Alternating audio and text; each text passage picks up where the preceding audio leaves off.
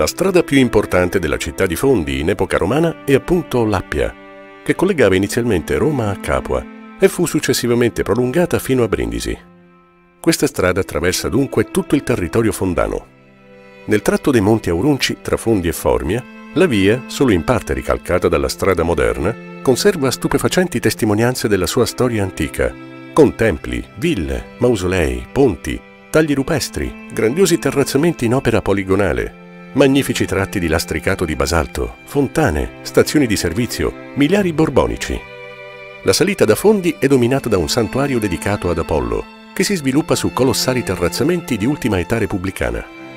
Oggi i tre chilometri di strada rimasti in disuso dalla fine dell'Ottocento fanno parte del Parco regionale dei Monti Aurunci, tra i comuni di Fondi e Itri.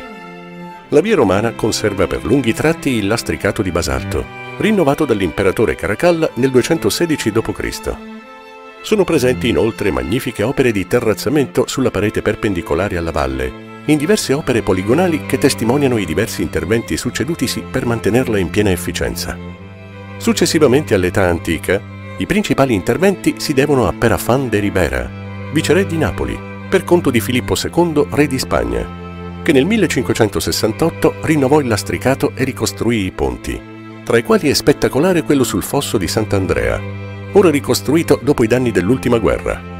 Ferdinando IV di Borbone nel 1767 e 1768 rinnovò poi radicalmente la strada, imbrecciandola e adattando i marciapiedi laterali allo scolo delle acque piovane, rinnovando i ponti e il parapetto, che ancora si vede su tutto il percorso.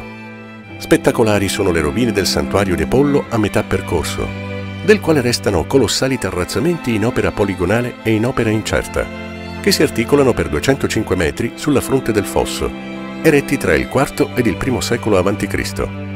L'edificio templare, rinnovato da Caracalla, ancora esisteva alla fine del VI secolo, quando al suo interno fu eretta la cappella dedicata a Sant'Andrea Apostolo, della quale rimane il nome alla valle e al forte che in età napoleonica fu eretto sul sito. In questa zona è possibile notare una stazione di sosta del I secolo a.C., con una cisterna in opera incerta. Il tracciato dell'antica via Appia corrisponde ad un tratto della via Francigena del Sud, percorsa sin dal Medioevo dai pellegrini che si dirigevano verso la Terra Santa o che dal meridione d'Italia raggiungevano Roma.